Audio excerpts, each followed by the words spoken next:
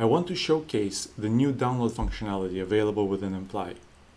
We've always had a download functionality, but we've greatly expanded it in this release to facilitate downloading in many different formats and downloading a lot more data up to and including all of the data available for a given dimension or set of dimensions.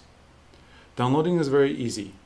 For a given dimension or several dimensions, I'm going to add one more here. Simply go to the share menu and download.